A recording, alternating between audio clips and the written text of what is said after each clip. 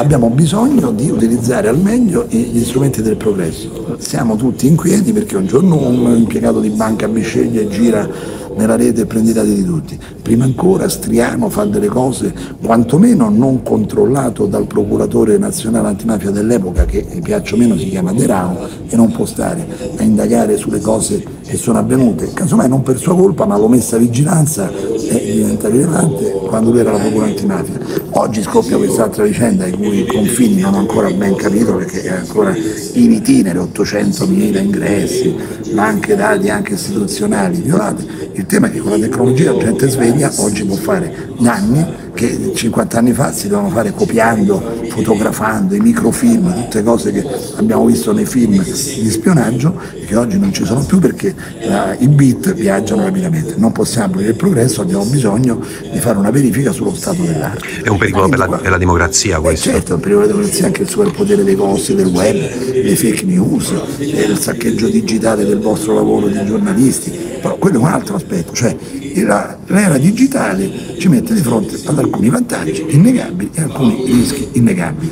Il saccheggio digitale, la tutela del copyright, ora l'aspetto più tra virgolette civile, che pure è un danno, le tasse che non pagano, il commercio elettronico che sfugge a qualsiasi controllo, qui ci sono altri aspetti, la banca, eh, la procura antimafia, l'investigatore privato che 30 anni fa avrebbe seguito il marito o la moglie che si tradivano, adesso invece casomai su commissione fa delle ricerche perché oggi è più facile farlo, ma è un problema mondiale, mi scusi perché poi questo non è problema solo italiano, poi noi forse mettiamo più in piazza le cose, ma questa è anche una garanzia di maggiore trasparenza.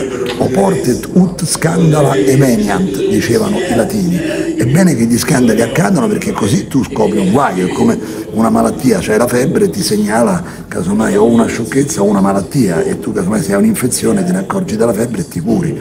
Quando abbiamo una febbre ricorrente che ci segnala delle infezioni, abbiamo fatto le autorità della privacy, le autorità eh, della cyber, abbiamo fatto tutto, evidentemente non siamo adeguatamente protetti da fenomeni che sono a volte di saccheggio di notizie private e altre volte possono essere anche degli attentati alla sicurezza o alla riservatezza che organi dello Stato, organi di polizia hanno. Evidentemente la tecnologia potenzia questi rischi ma deve creare anche le difese, perché noi possiamo immaginare di tornare al mondo del foglio, della carta e penna. E quindi un work in progress che deve essere proseguito senza esitazione, andando avanti anche sui fatti di cronaca che il Parlamento dovrà analizzare. Ho chiesto da tempo un dibattito anche in aula, però poi dobbiamo dare un indirizzo, se no facciamo un giro di, di interventi, ognuno dice quello che diciamo nei convegni in televisione e restiamo così nudi di fronte ai bit.